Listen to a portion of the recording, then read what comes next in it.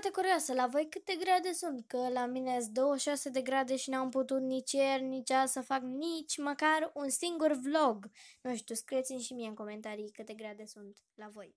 Pa